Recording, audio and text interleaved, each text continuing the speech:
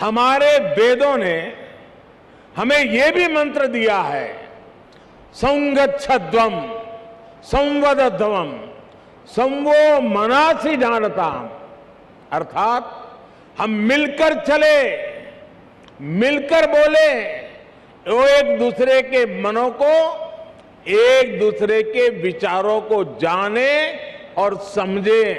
वेदों ने धर्म को एक संपूर्ण जीवन पद्धति के रूप में परिभाषित किया है। महर्षि संदीपनी राष्ट्रीय वेद विद्या प्रतिष्ठान तथा उसको अभी माननीय प्रधानमंत्री नरेंद्र मोदी जी की दूरदृष्टि के कारण उसको एक बोर्ड की मान्यता पिछले साल दिया गया, पहली बार।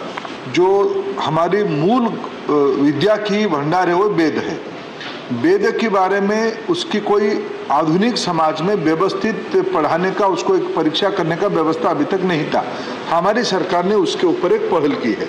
जो अपने स्वेच्छा से, यहाँ पढ़ने बहुत चुनिंदे बच्चे आते हैं पढ़ने के लिए, जो अति कुछ पारिवारिक संस्कार के कारण, बहुत एक प्रकार से ये लोग ऋषि परंपरा को आगे बढ़ाने के लिए समर्पण परंपरा को आगे बढ़ाने के लिए पढ़ने आते हैं। सरकार की ओर से सारे चीज़ों को प्रोत्साहित करने के लिए हमने इसको बोर्ड भी बनाया।